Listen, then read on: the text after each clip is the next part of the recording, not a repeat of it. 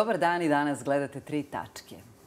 Kontrabas, divan instrument, jedan od onih koji nas hipnotiše kada slušamo nekoga kako divno svira, a opet nije jedan od onih koje često imamo priliku da slušamo.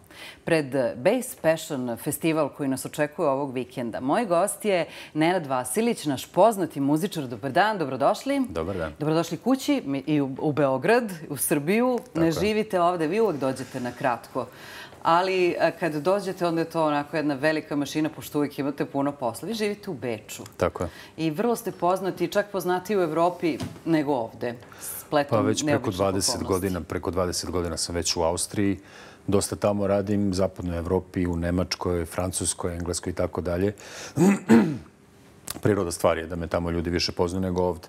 U zadnje vreme se otvorilo i ovde par festivala, imali prilike da gostujemo i e, sa, sa svojim sastavom sam gostovao na Beogradskom jazz festivalu, pa onda bilo, imali smo neko gostovanje u Kolarcu, na Kolarcu, pa smo bili u Sava centru i tako dalje. Tako su zadnjih par godina to otvorilo u odnosu na ono koliko nas nije bilo pred 20. godine ili 15. Da, svet je mnogo širi front. Imali masovniju publiku za muziku koju vi svirate E, ili prosto medijski to bolje propraćeno pa su ljudi više upoznati nego ovde? Pa znate kako, e, stvarno je različito.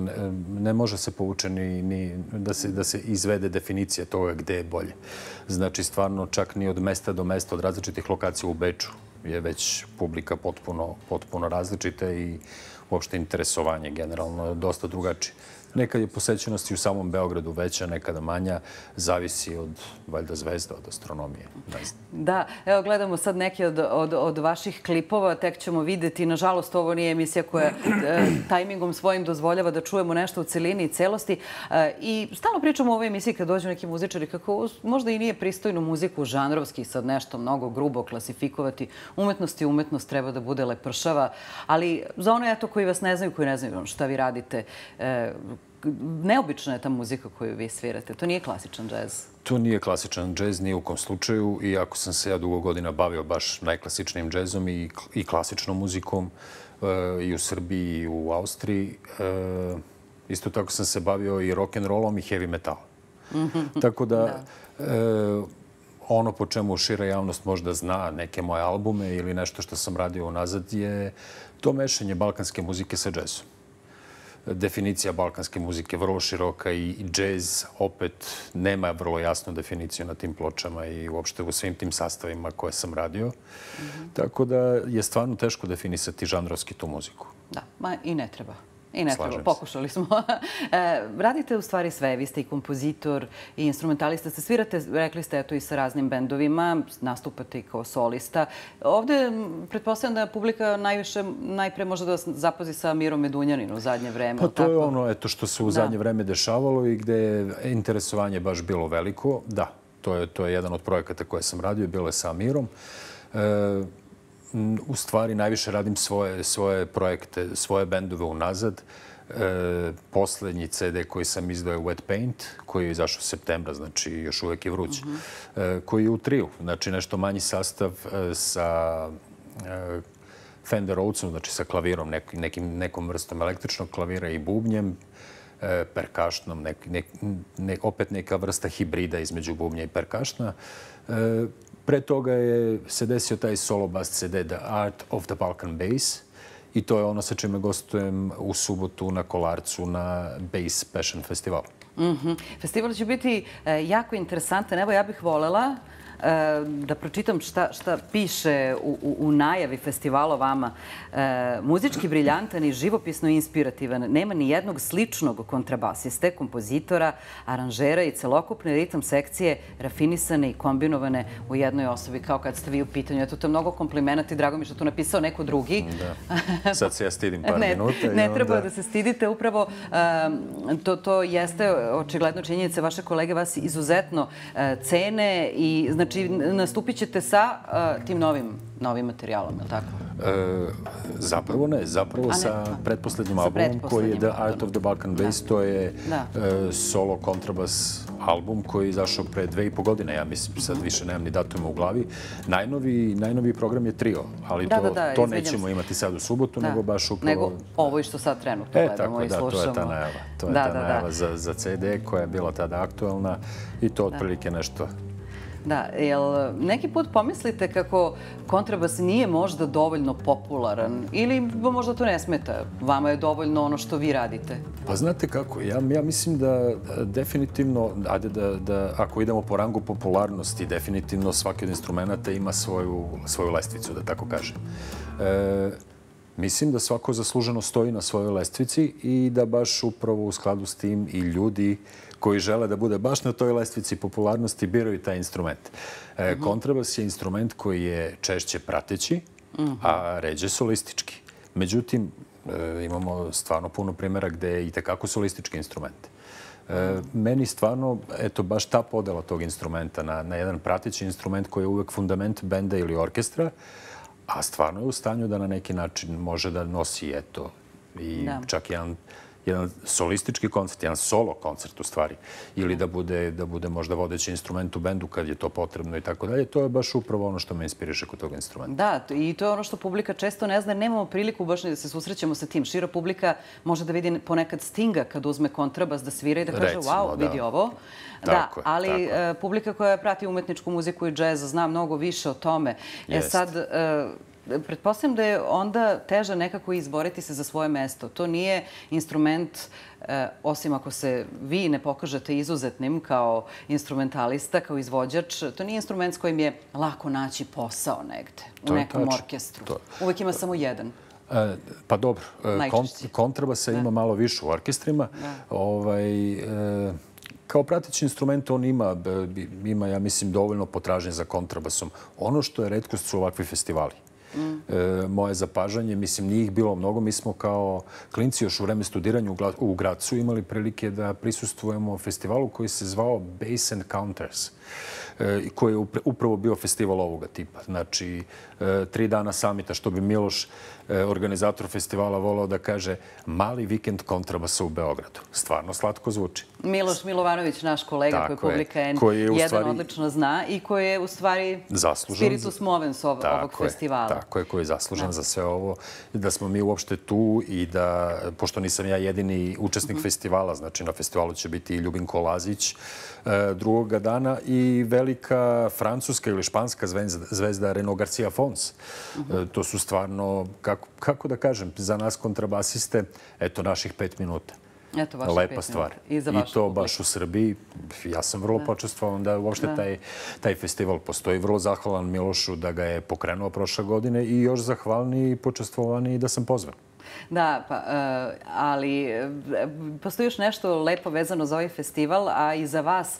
E, rekli ste malo pre redko dolazite, ali kad dođete uvek to vreme nekako gledate da iskoristite i da date od sebe ono što možete, da pomognete svojim mlađim kolegama. Leto ste u Nišu, u svom rodnom, jednu radionicu imali, a tako? Jeste, tako je. A bit će sad radionica isto nekih i prigodom ovog festivala? Jeste, trudimo se da u Nišu, evo već treću godinu, radimo besplatne radionice za decu muzičke škole, srednje muzičke škole i akademije i naravno muzičara koji nisu ni na školi ni na akademiji. E, trudimo se da radimo e, te besplatne školice, workshopove, kako ih ko zove, radionice, koje traju od 3 do 5 nedelju dana, zavisi od toga koliko imamo vremena i koliko je interesovanje. To je ono što smo radili u Nišu, to je bilo sad avgusta, čini mi se, posljednji put. A u subotu e, ćemo Ljubinko i ja raditi e, na kolarcu, znači workshopove. Ljubinko je, ja mislim, od 11, a ja sam u 13 časova. A za nedelju, ne znam tačno, ali pretpostavljam da Renault radi onda u nedelju workshopova u neko vreme.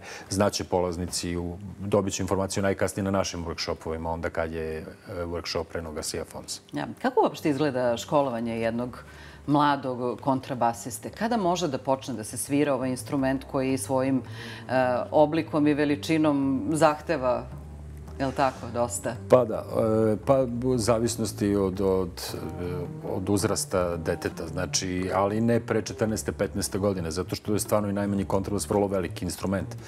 E, I pre svega potrebna velika snaga za, za samo stiskanje, za vladanje, za, za izbacivanje tona iz instrumenta. E, šta da kažem, recimo trombon, E, ili kontrabas su možda na, e, na vrhu same liste nezahvalnih instrumenta. Znači, treba i godinama vežbati da se stigne samo do toga do čega stigne jedan klavirista za dva minuta. To je ton. Dobiti to na kontrabasu traje dve, tri godine stvarno na početku, da taj ton nije škripav, da komši ne pozli dok sluša vežbanje i ostalo. Znači, traje. Traje na početku. I školovanje je dosta ozbiljno. Jeste dosta ozbiljno, puno vežbanja i onda brundamo tako od pozadi i u principu čuju nas kad nas nema.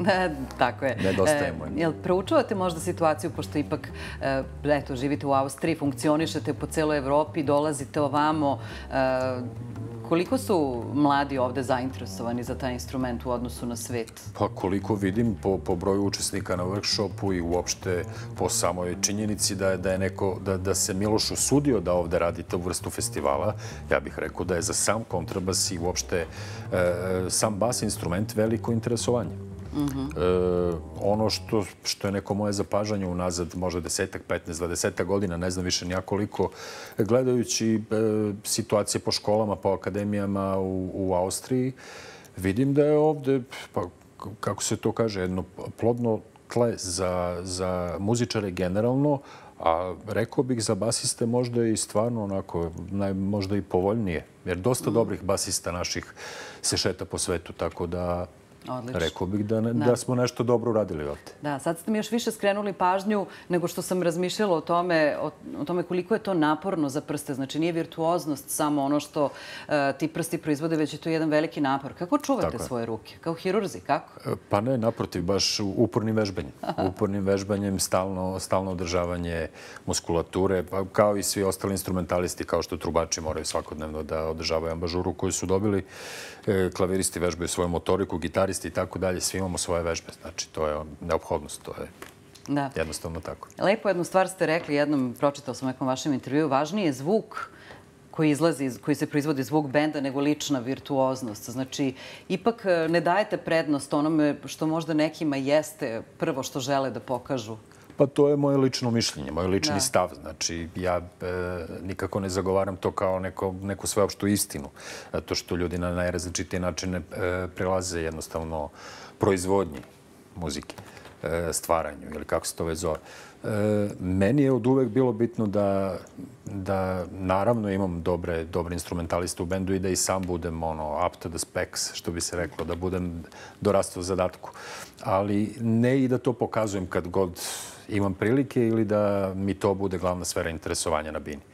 Naprotiv, e, ono što mi uvijek bilo bitno je prvo vibe benda, prvo e, samo odabir e, muzike koja se svira, senzibilnost kojom se bavimo svejedno, znači kojim se repertoarom bavimo, koju, koje pesme sviramo, da li je neko iz benda pisao muziku za taj, za, za, za taj konkretan koncert ili projekat, ili sviramo nečije pesme, svejedno, ta senzibilnost koja prati jedan bend, A mislim da je ono što je svima nama vrlo, vrlo bitno na samom početku kad, kad doživljavamo muziku, to je ipak zvuk. To je to prvo što čujemo. I kroz taj zvuk se ta senzibilnost nekako naj, najlakše prenosi. Da, posle toga dolazi do virtuoznosti, naravno. To je, to je neminovnost koja nas čeka dalje ukoliko muzika to traži od nas ali nikako ne smemo da podredimo muziku e, virtuoznosti, to ne bi bilo, e, ne bi bilo ozbiljno. Jasno. Jasno. Jedno čekamo u subotu, uveče dolazimo na Kolarac, na Bass Passion Festival. Vi nastupate e, te večeri, to je 17. je li tako? 17. u subotu u 20 časova. Tako je. Bass Fashion Festival nas očekuje narednih dana na Kolarčevom univerzitetu u Beogradu, u Kolarčevoj zadužbini. Hvala Nenadu Vasiliću, gostu Tri tačke danas. Hvala vam što ste bili naš gost. Hvala vam. Vidimo se a evo malog podsjećanja e, gde, gde je mesto našeg susreta ovog vikenda.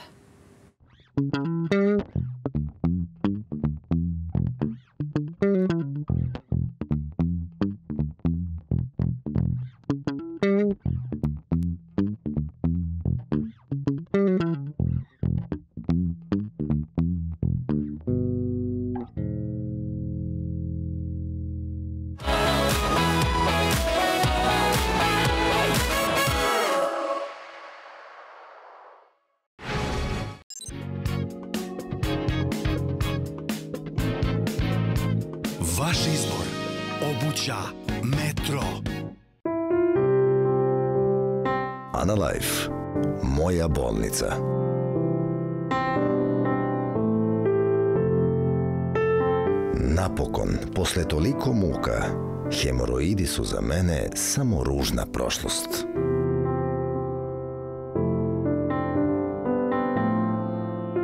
Odeljenje opšte hirurgije. Opšta bolnica Analife u mirnom kraju Zemuna. Lepa. A ružna. Uzor. A loš. Voljena. A zagađena. Ovo je zemlja za nas. Ne prljaj je. Nemaš izgovora.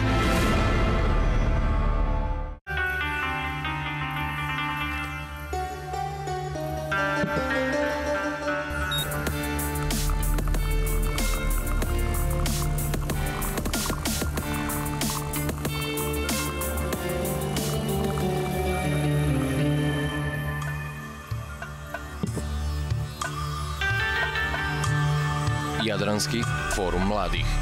Sarajevo, 23. septembar. Najteže je napraviti prvi korak, pobediti izazov, osjetiti radost. Svaki naredni je kao igra. Igra koraka koja nas čini spretnijim, okretnijim, sigurnim u sebe i u pobedu. Uspešnim.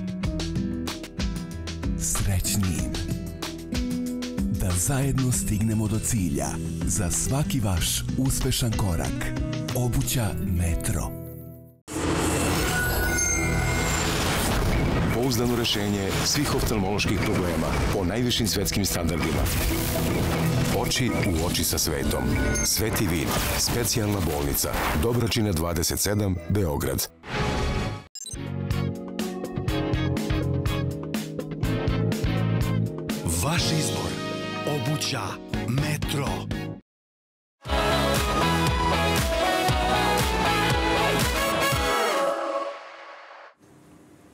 Gledate tri tačke na N1 i podsjetit ću vas na nešto. Sećate se kad smo proletos e, pričali o programu multikultivatora Servisa za razvoj kulture i umetnosti i takmičenju mladih muzičara, e, čiji će pobednici moći da odu na letnji kamp Berkeley Akademije.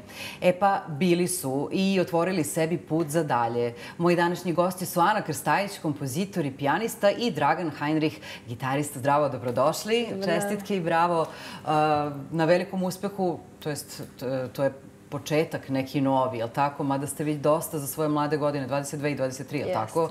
Uradili da sad ovde. Pretpostavljam da su to bile jako uzbudljive dve nedelje za vas. Jeste, zaista, da. Sve je počelo uh, takmičenjem koje je organizovala organizacija Multikultivator u aprilu. I tada smo Dragan i ja osvojili prve nagrade u kategoriji najbolja originalna kompozicija i najbolji aranžman čime smo osvojili stipendije za letnji muzički kamp u Valenciji, Berkeley letnji muzički kamp. E, tokom te dve nedelje e, uspeli smo da e, zaista naučimo mnogo novih stvari.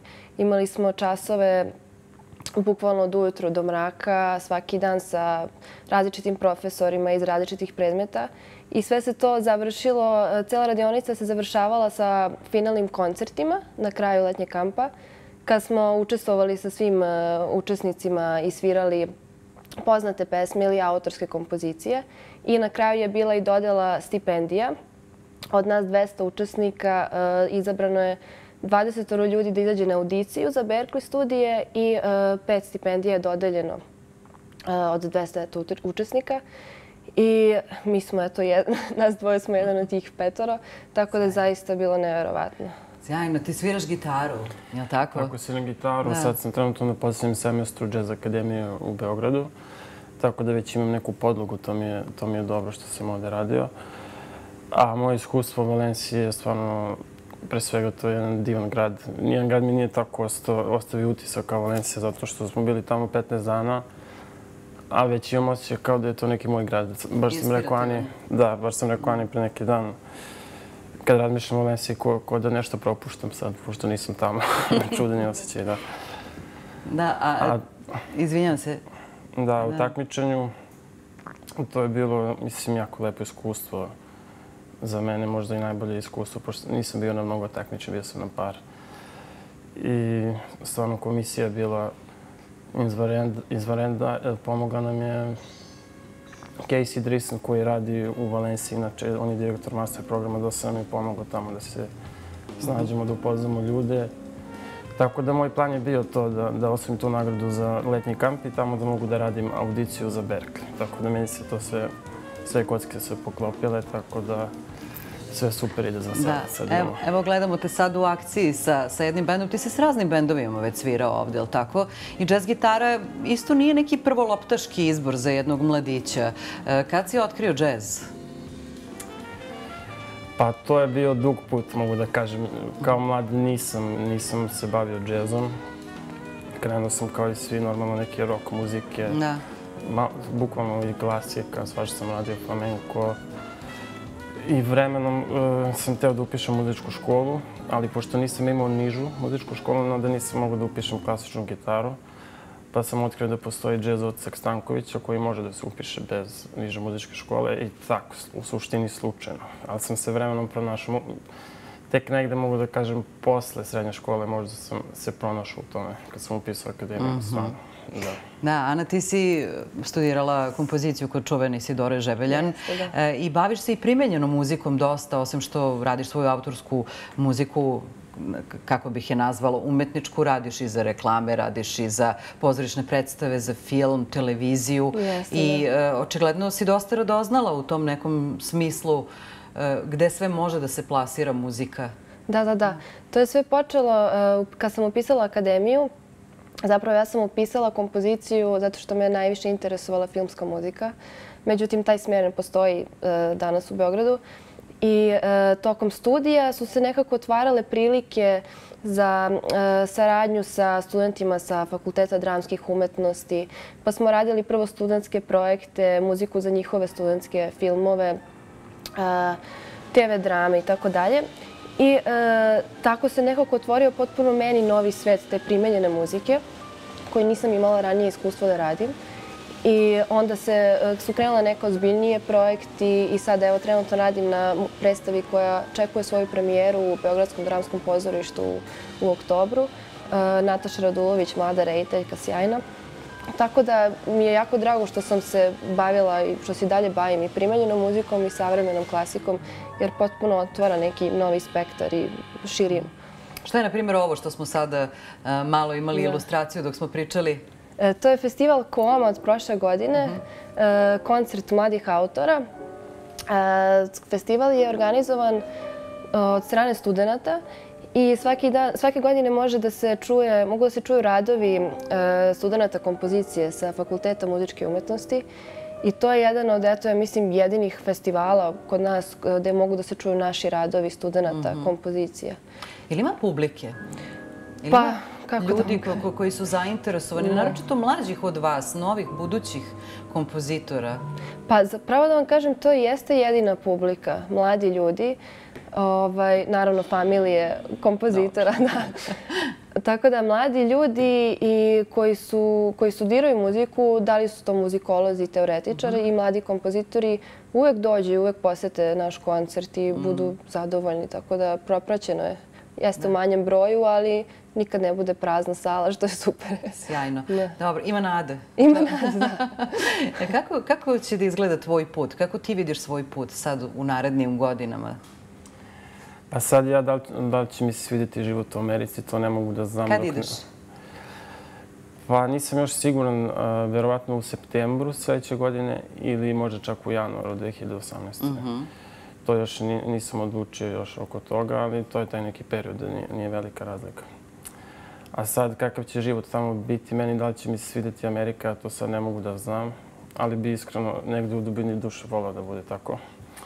Pošto je ipak Amerika centar toga čime se ja bavim. Tamo je i nastao džez i ne samo džez, nego generalno ta neka moderna dešavanja u džez muzici, pošto je to sad jedna širok spektar vrsta muzika tu se uključuje. dosta olakšavajuća okolnost mi je što tamo imam već stvarno dosta bliskih prijatelja. Evo, njen brat je recimo u Bostonu i dosta mi to olakšava. Pošto znam da tamo imam nekog ko može da mi pomogne, koji je sve to prošao već. A druga, treća stvar zapravo to što je jako blizu Njujorka. A Njujork je stvarno muzički sveta. Pa, sve, da. može se reći slobodno. Da, a kako, kako zamišljaš dalje u budućnosti? Bi volio da budeš muzičar, građanin sveta ili da se zadržiš tako negde u, nekom, u nekoj zemlji koja te inspiriše? E, pa, moja zamisla trenutno je da je Beograd moj, cen, moj centar sveta. Ja divno. Da. Super. Ali želim što više da naučim. Znam da ću tamo sigurno mnogo naučiti i neke stvari koje ovdje jednostavno ne bi mogo i, upoznati ljude koje ovdje svakako bi bilo jako teško upoznati. A sada, kažem, ne mogu tačno da, vjerojatno će se to sve iskristalisati kad budem bio tamo. Ali, kažem, Beograd je centar mog sveta, Da. I trudit ću se da tako uvijek bude. Da, kaži mi, Ana, samo još jednu stvar. Vi niste dobili uh, cele stipendije, dobili ste jedan veći deo. Uh, važno je da postoje ljudi koji mogu da pomognu da se neke staze prokrče. Neki put čovjek može da bude vanredno talentovan, ali uh, mora, mora da ima neka vrata koja će da se otvore i nekoga da, da dune dobar vetar u leđa. Vi ste u potrazi za nekim sponsorima, je li tako? Da, srećom, eto, taj master program, moj master program i njegov E, program studijski počinje sljedećeg septembra. Tako da imamo eto, godinu dana e, da pronađemo neke sponzore, nadamo se da bismo mogli da odemo. Jer i dalje nije sigurno, nam nisu poklonjene pune stipendije, zapravo niko nije dobio na kampu punu stipendiju.